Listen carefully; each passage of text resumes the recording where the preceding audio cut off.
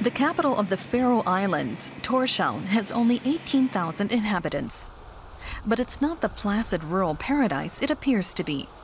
The islanders are tough and fiercely business savvy, especially where fish are concerned. Like the JFK Company. When it ran into problems with the EU over quotas and Brussels banned imports of Faroe Islands herring and mackerel, the company had to respond quickly. A lot of its sales were made in the EU.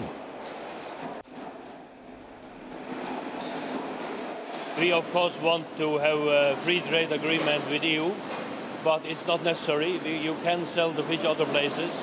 And at that time we sold to Russia, to Nigeria, to China, to Japan. The EU's sheer size and proximity made it a worthwhile market for the Faroes.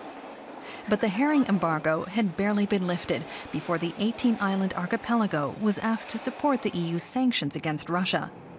Even though they are not EU members, the Faroe Islanders said no. Fish exports are their lifeblood. In Faroe Island, we speak about 90% of our, our value.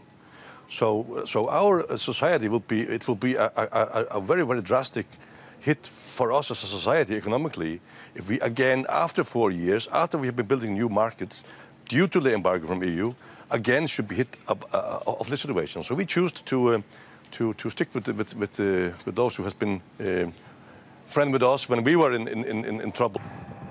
Trade Minister Dahl is referring to Russia. The Faroes have only just opened a representative office in Moscow. Faroe Islands companies sold Russia over 140 million euros worth of fish last year, more than any other country. The Russians are especially fond of farmed salmon. Faroes companies produced 70,000 tons of it last year.